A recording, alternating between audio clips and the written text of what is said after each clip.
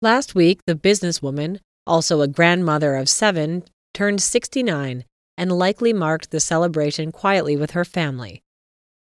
All thoughts in the Middleton household will be on their daughter Catherine, and maybe she felt up to joining her mother's special day as she continues her recovery from abdominal surgery. In a heartwarming display of family closeness, Carole Middleton was recently spotted visiting her beloved grandchildren, Prince George, Prince Louis, and Princess Charlotte, with gifts in hand. Mrs. Middleton was seen arriving at daughter Catherine's Adelaide cottage in Windsor on Sunday morning. The proud grandmother was fashionably dressed in black fitted jeans and black heeled ankle boots, and a splash of color from her vibrant coat from Boden. She was seen helping out her daughter to pick up the parcels that have been left outside the family's home and carrying them inside Catherine's home. The scene unfolded near the picturesque Adelaide Cottage home, showcasing the strong bond between Carole and her royal grandchildren. Carole Middleton regularly visits William and Catherine's home to help her daughter and son in law with domestic duties. Carole bypasses security on her visits as staff are so used to her frequently dropping by to see the grandchildren. Her recent visit, with thoughtful gifts, is a testament to her enduring love and support for these young members of the Wales family, especially important period of the princess's recovery after recent serious surgery. Her presence during this challenging time has undoubtedly been a source of comfort, guidance, and joy for her three grandchildren.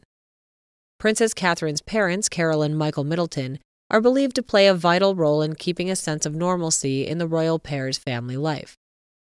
Back in 2015, Prince George spent a sweet afternoon at Bucklebury Farm Park in Berkshire with his grandmother while the mother wasn't on hand for the afternoon with Grandma. The twosome was seen playing Monster in the park near their home. After that, the royal was spotted riding high on Carole's shoulders as the two walked back to their car, and he got a little wiggly once it was time to get down. Back in 2014, Catherine was having a conversation with the Queen in which she confided that she had found being with George on her own and not having a full time nanny or maternity nurse was very hard. William and Catherine wanted to be hands on parents, and they did until September when they recruited a nanny. The royal parents now rely on their trusted nanny, Maria Borrallo. But despite this, Catherine's mom still regularly helps with the children. One of the things that allows William and Catherine to be so ordinary is the presence of the Middletons in their lives. At this time, she is a regular throughout the Golden Gates at Kensington Palace. She whizzes through in her Land Rover. Her hands on approach to being grandmother enriches the lives of the young charges, providing them with a strong connection to their Middleton heritage, even amidst the grandeur of the royal world. What makes this visit even more special is the recent context of Carole's life. The Princess of Wales' mother is said to be deeply disappointed about the fate of her business, Party Pieces. The party supplies business, launched in 1987, has over 2.5 million pounds worth of debt.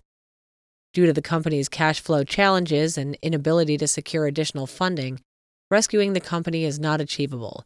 A close friend of Carole Middleton told royal expert Richard Eden, it marks the end of a major chapter for the Middletons.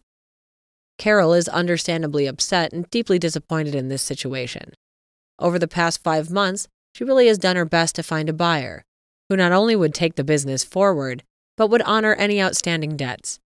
Carole believes in accountability and accepts that she has been a little naive to step back and trust someone else to run the business she'd spent decades nurturing, and it's been desperately sad to see the company sold off this way. Carole Middleton founded the company while looking for inspiration for one of her daughter's birthday parties.